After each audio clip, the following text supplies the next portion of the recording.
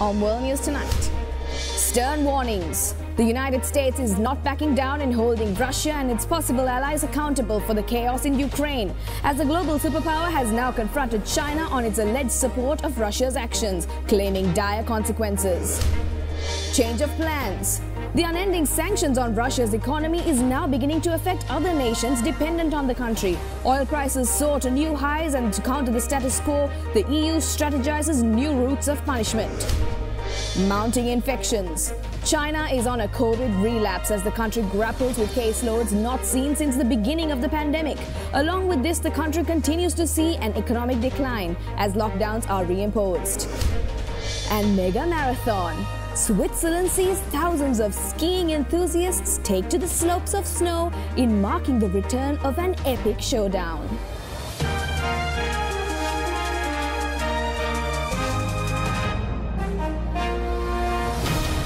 This is Ada Derana World News Tonight. Reporting from Colombo, here is Anuradhi Vikramasinghe. Good evening. Thank you for joining us on World News Tonight. We begin tonight's broadcast with updates on the Russian invasion of Ukraine. Top officials from the US and China have met in Rome to discuss Russia's ongoing invasion of Ukraine. During marathon talks in Italy, Washington warned Beijing that any support for Moscow's aggression against its southeastern neighbor will result in consequences. Tight security outside this hotel in Rome marked the high stakes diplomacy inside. U.S. National Security Advisor Jake Sullivan pressed Washington's message on a Chinese diplomat, asking Beijing not to take additional actions to support Moscow amid the Russian invasion of Ukraine. The White House described the seven hour sit down between Sullivan and Yang Jiechi as intense, reflecting what it called the gravity of the moment. Sullivan warned China of the economic penalties and global isolation it would face if it continues to support Russia in its invasion of Ukraine. White House Press Secretary Jen Psaki. Should they provide military or other assistance uh, that, of course, violates sanctions or uh, or supports the war effort, uh, that there will be uh, significant consequences. But in terms of what those specifics look like, we would coordinate with our partners and allies to make that determination. Psaki said the meeting had been scheduled for some time, adding, uh, it was a timely uh, and important moment uh, to have this conversation. It took place as the U.S. told allies in NATO that China had signaled its willingness to provide military and economic aid to Russia to support its war.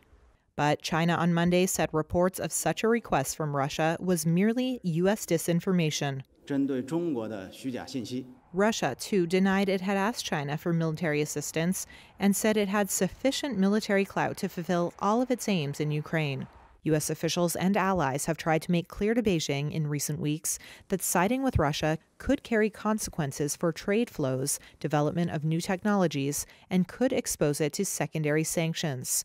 China, a key trading partner of Russia, has refused to call Moscow's actions an invasion, although China's President Xi Jinping last week did call for maximum restraint and expressed concern about the impact of Western sanctions on the global economy. Ukraine and Russia began another round of talks, even as fierce Russian bombardments continued and the Ukrainian refugee exodus reached 28 million.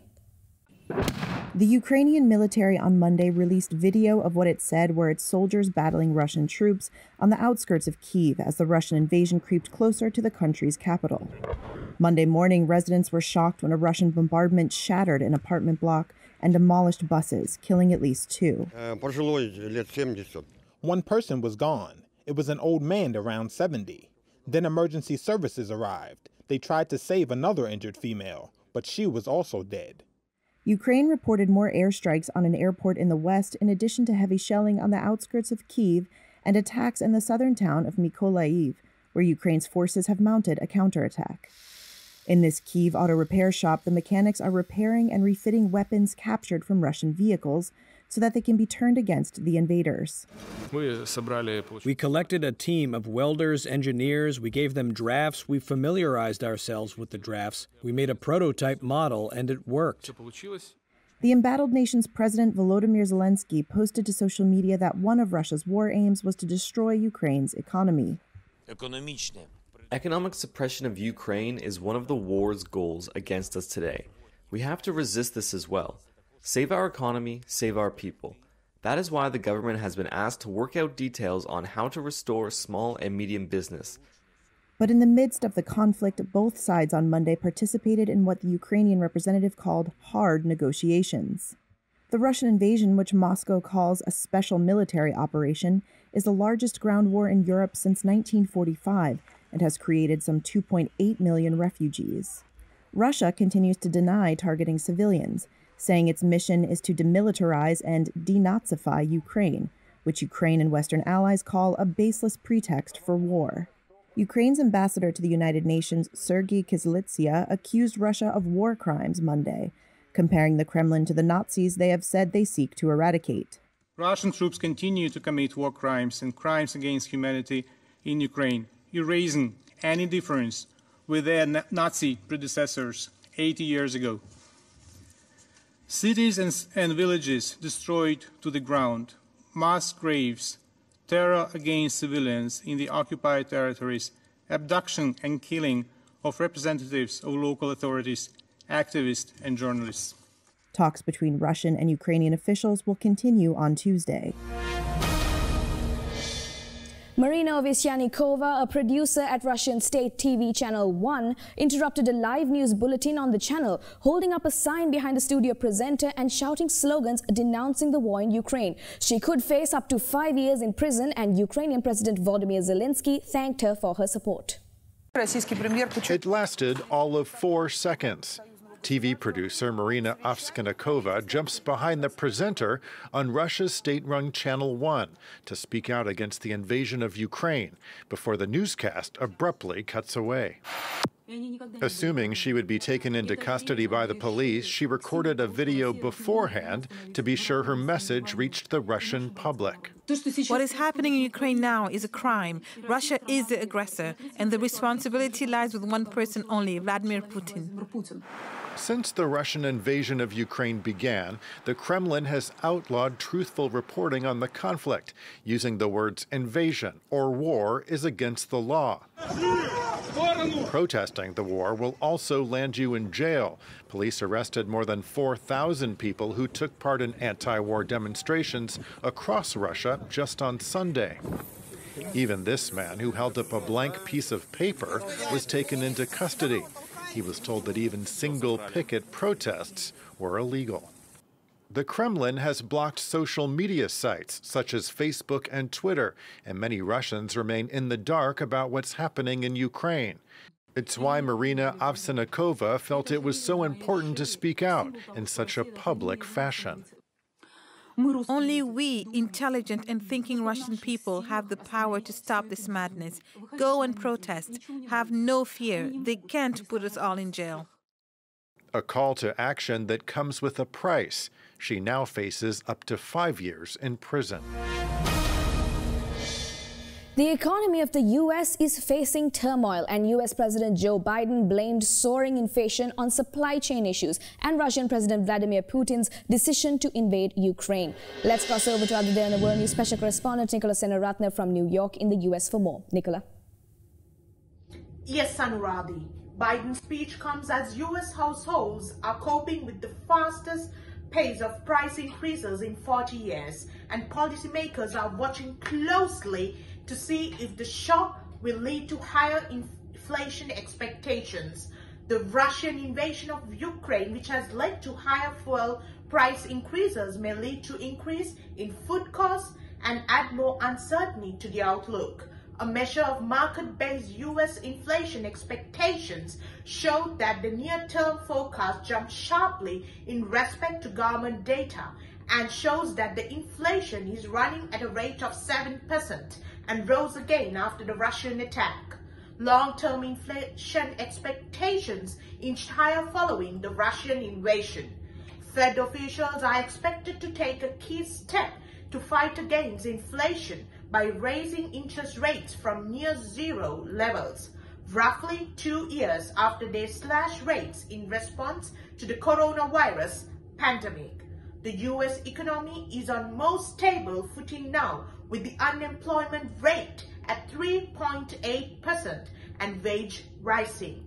But most households are also struggling with the rising cost. Back to you, Anuradhi. All right, thank you. That was Ada Derana World News special correspondent Nicola Senaratne from New York in the US.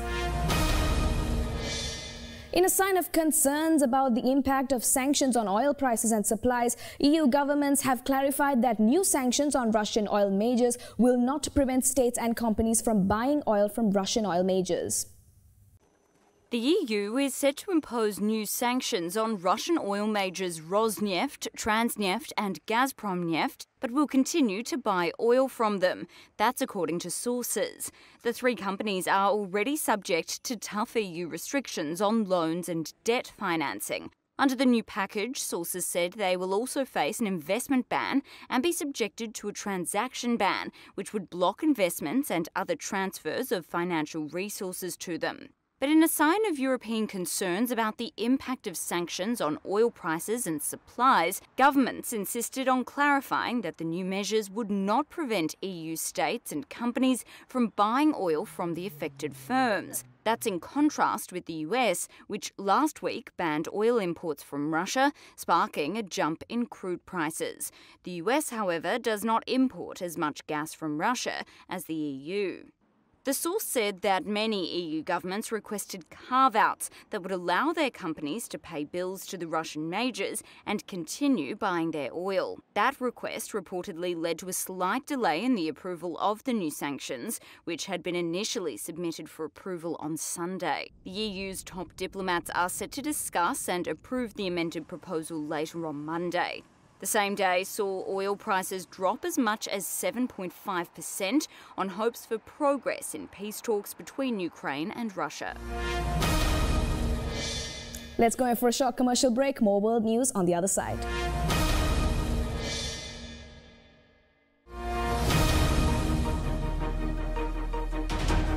Welcome back to World News Tonight. Russia is cut off from major global financial markets due to sanctions. The country may default on its debt if it fails to make interest payments on dollar-denominated bonds. The IMF's managing director pointed out default is no longer improbable.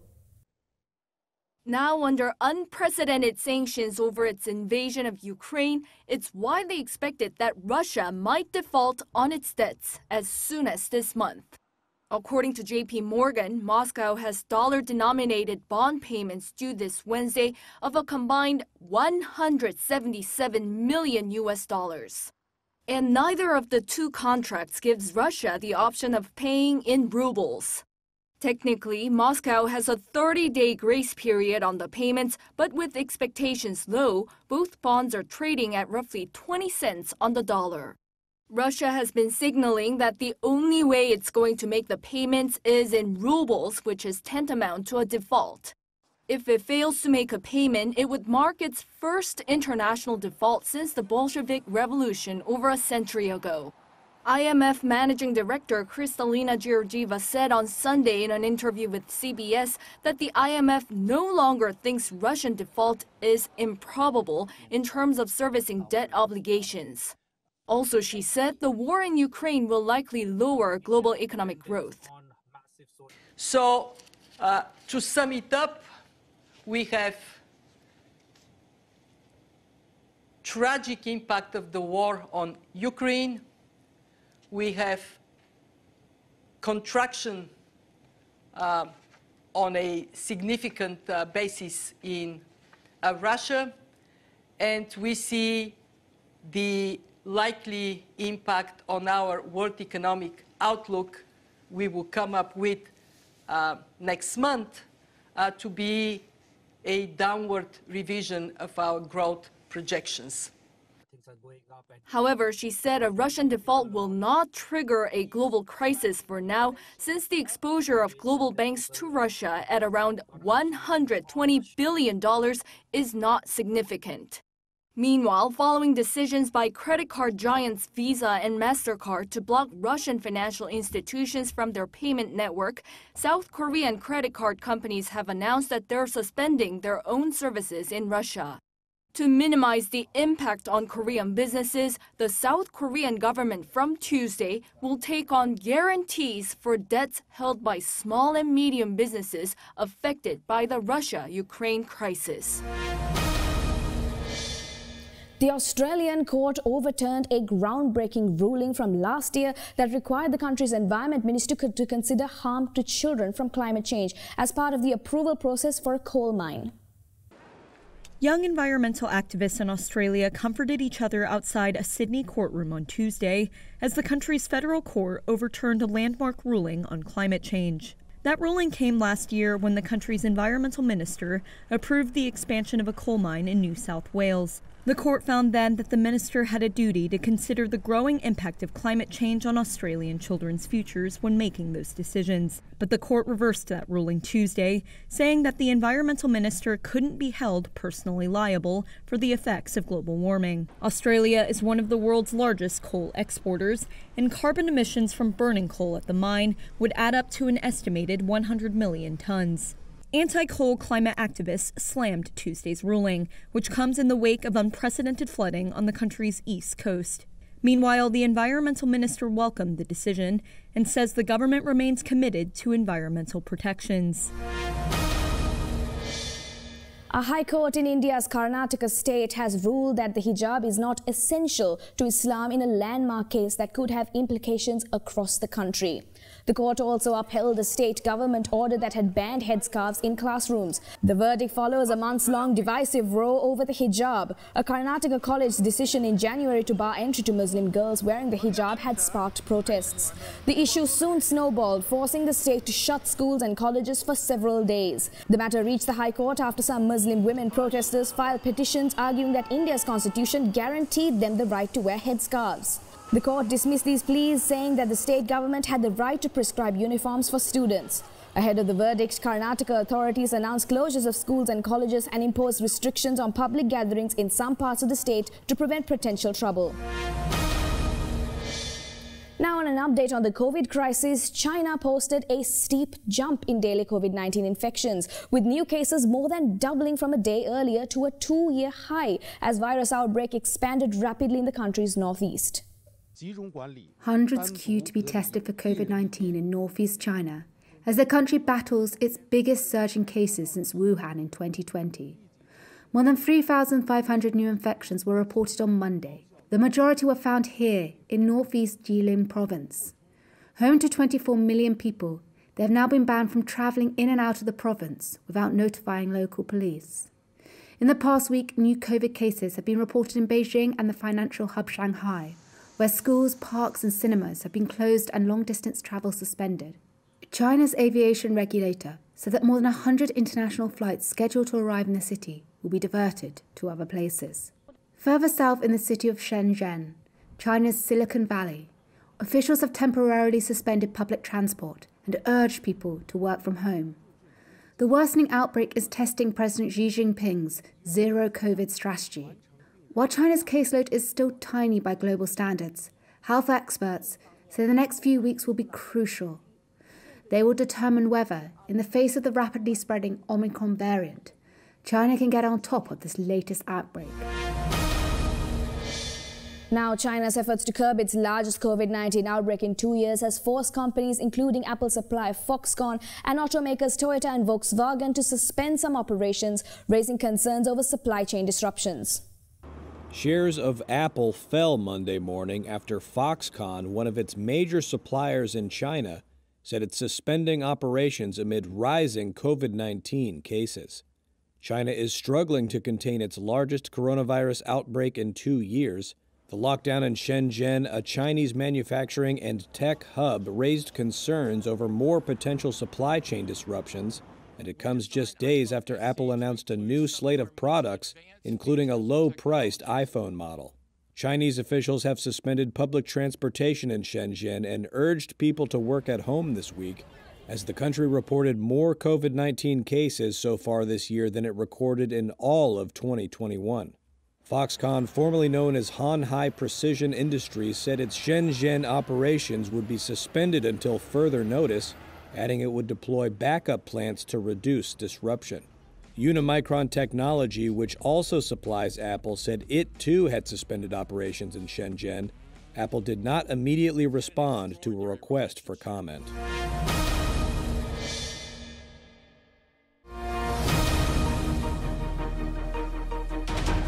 Welcome back to World News Tonight. For more news, let's take you around the world in a minute.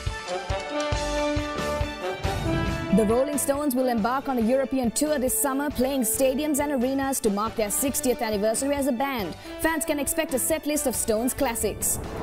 NASA said that there are no signs of tension between US and Russian crew members aboard the International Space Station amid Russian invasion of Ukraine.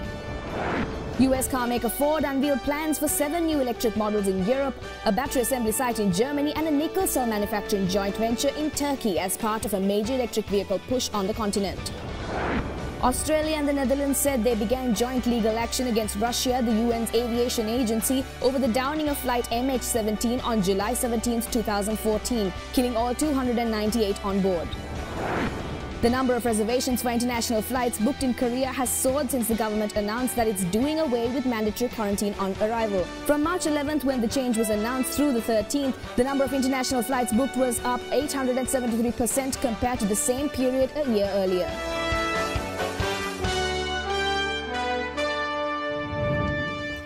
That's all the news we got for you tonight. Join us again tomorrow for more news around the globe. In case you've missed any of the stories we had tonight, you can rewatch by catching us on our YouTube page, youtube.com slash English. We're leaving you tonight with a look at 11,000 competitors from 40 nations lined up to take part in the 52nd Engadin Ski Marathon in Switzerland. Thank you for watching. Good night.